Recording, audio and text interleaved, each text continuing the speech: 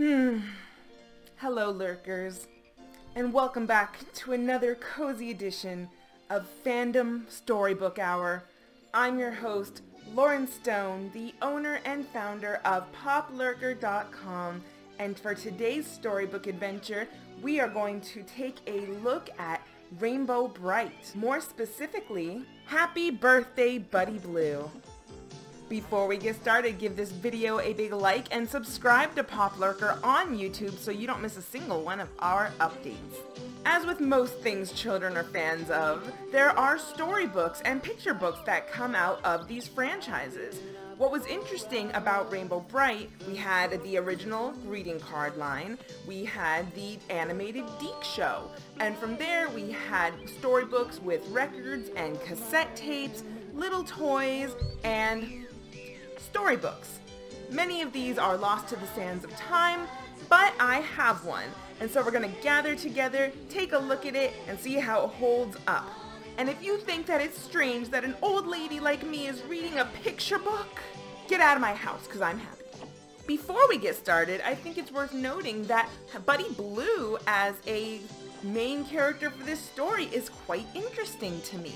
Buddy Blue as a character was always quite interesting to me because Rainbow Brite was one of those everybody wants me characters. Now, because these are depicted as very, very small people or very, very young children, I don't know. That's up to you, the viewer, to decide. I always thought Rainbow Brite acted like a 10, 12 year old, but clearly looks like a 6, 8 year old. It's a little weird. And Brian was almost 11. We learned that in the episode where he almost walked into the rainbow peril in the pits. But we have all these boys with big crushes on Rainbow Brite. We have Red Butler, Brian, and Chris, depending on his mood. Her co-star in Rainbow Brite and the Star Stealer. I got my shirt from truffleshuffle.uk and you can too. I'll put a link in the description below. Pretty cool, right? But Buddy Blue did not have the same crush on Rainbow Brite. And I, as many of us wondered, although in a children's show in the 80s this would never be discussed, it's not important, we always figured he was queer. You know, he hung out with the other girls, he was sporty like Patty O'Green, and, you know, he was the gay best friend. Also workout clothes. I digress. Happy Birthday Buddy Blue by Lyn Calder. Copyright 1984 by Hallmark.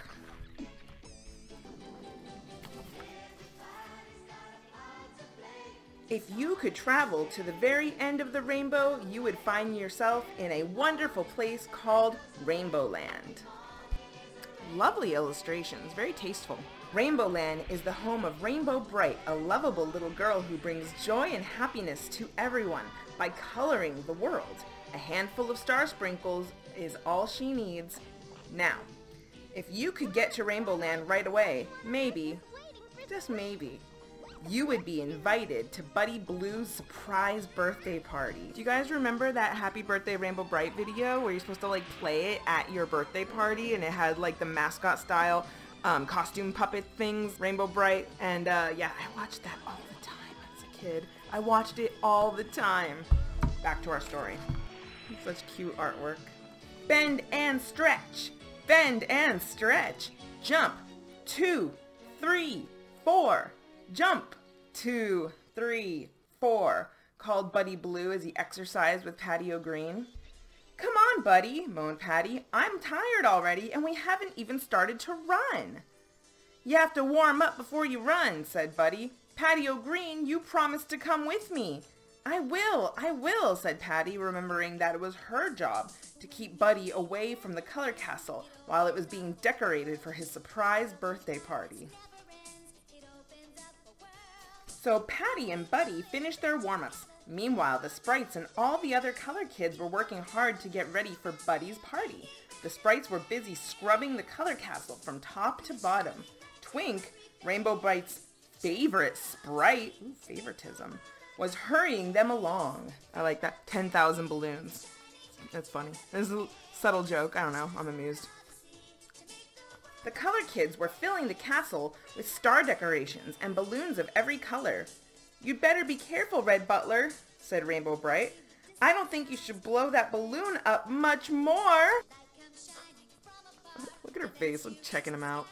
Pop! It was too late. Everyone laughed at the look of surprise on Red Butler's face. Lala Orange ran to his side. Are you all right? she asked.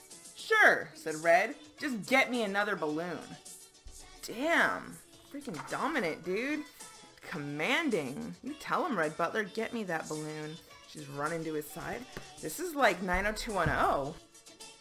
What happens between the lines in Rainbow Land, man? By now, Buddy Blue and Patty O'Green had started on their run around Rainbow Land, up to Red Region, down to Orange Meadows, through Yellow Plains, and straight into Green Grange. Patty O'Green was huffing and puffing. I think it's time to rest, she said breathlessly, sitting down on a bed of green clover. I'll just take a quick spin around Blue Zone, called Buddy over his shoulder. I'll be back to get you in no time. Blue Zone, sounds like Sonic level.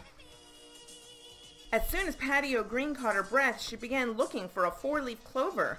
That would make a fine birthday present for Buddy, she said to herself.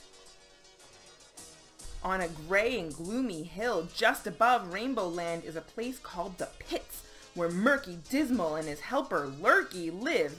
Helper my eye, that's his man. Every day, Murky tries his hardest to make everyone as miserable as he is really great illustrations. I love all the vibrant colors. Ah, said Murky Dismal, looking over Lurky's shoulder as he mixed a brew in a great pot. Our Doom Potion is just about ready. Why don't we go try it out on one of those cheerful little color kids? Murky Dismal and Lurky packed up the potion and climbed into their grunge buggy.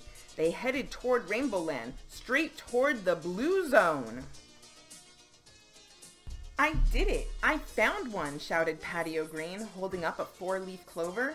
She started humming Happy Birthday to You. Ooh, that must have been before Warner Brothers had the rights and then relinquished them. Public domain now, you know. But where is Buddy? she wondered. He was going to take a quick spin and then come back to get me. She knew there was only one thing that would stop him from coming back. Murky Dismal! I hope you're as lucky as you're supposed to be, said Patty O'Green to her four-leaf clover, and she ran as fast as she could back to the color castle. Why wouldn't she run to the blue zone? When she got there, she had to shout over the noise of the color kids and the sprites. Buddy Blue is in trouble, she said. He went jogging up toward the blue zone and never came back. Oh no, said Rainbow Brite. We've got to help him. You notice how Starlight's hair changes? Sometimes it starts with red and sometimes it starts with blue and there's no rhyme or reason when it switches. Just saying. Rainbow Brite ran outside and began to call for Starlight, her magical flying horse. He had been sent out to look for flowers for the party. Starlight was admiring himself in the reflection of a pond. But when he heard Rainbow's call, he took off immediately for the color castle. It's like that big moment. In a flash, he was at Rainbow's side. We've got to find Buddy Blue, she said. He's in trouble. Quick, Starlight. With Rainbow Brite on his back, Starlight flew over Rainbow Land toward the Blue Zone. Blue Zone. It wasn't long before Rainbow and Starlight saw what they had feared. The grunge buggy with its gray cloud of doom was closing in on Buddy Blue. Murky Dismal had his evil potion ready.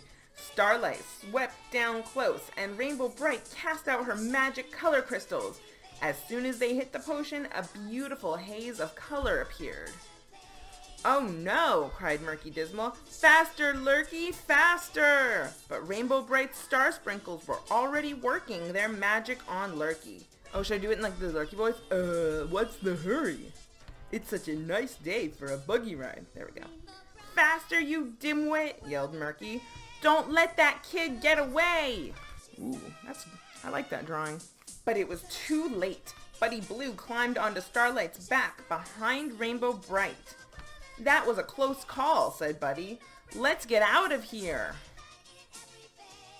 At the Color Castle, Patty O'Green was the first to see Rainbow, Starlight, and Buddy Blue coming. Hurry, she called. They're almost here.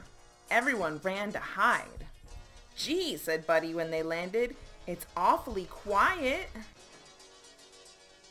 Happy birthday! shouted all his friends as soon as Buddy opened the castle door. Twink came out carrying a star-shaped birthday cake. Buddy Blue made a birthday wish and blew out the candles. Thank you, everyone, he said. Patty O'Green handed Buddy the four-leaf clover. Here's a birthday present, Buddy. I think it brought you luck today. Picture symbolic. Fan theory symbolism, being hugged by a rainbow. You know where we're going. Then Rainbow Brite took out a handful of star sprinkles she saved for special occasions. When she tossed them at Buddy, the air all around him lit up with every color of the rainbow. Happy birthday, Buddy Blue, said Rainbow Brite. And it was a birthday Buddy Blue would never forget. And on the back, we have a list of the other stories that were printed alongside this one. So this is a golden book specifically. And that's our story. You know, we could be annoying and comment on it. It's kind of like I thought there'd be a twist. There was a lot of there was a lot of literary writing room for a twist here because we had we had Patty O'Green decide that Buddy Blue was in trouble based on nothing. Like just because he didn't get back fast enough, she figured he was in trouble. So I think a really good twist would have been for her to like run to the blue zone and she gets kidnapped by Murky or she gets attacked by Murky instead of but then like Rainbow Brite had to ride Starlight. So she needed to go get Rainbow so Rainbow could do the thing. You know, monster of the day moment. Um, and that's you know and that's why she ran to Rainbow and decided that Buddy Blue was in trouble. But I think it would have been a very strong literary moment if we took that omniscient jump over to Buddy Blue to see if he was actually in trouble instead of Rainbow Brite discovering her worst nightmare. I don't know. I think it just would have been uh, some good character building. And that's all I got for you guys today. Thank you so much for hanging out with me. I'm Loryn Stone with PopLurker.com. Join us next week for another exciting fandom storybook hour when we will actually be reading a Rainbow Brite book from 2015. I know. I lost my mind when I found it too. All right, you guys, be good, be safe, love what you love, never stop lurking. I'll catch you for the next one. Bye.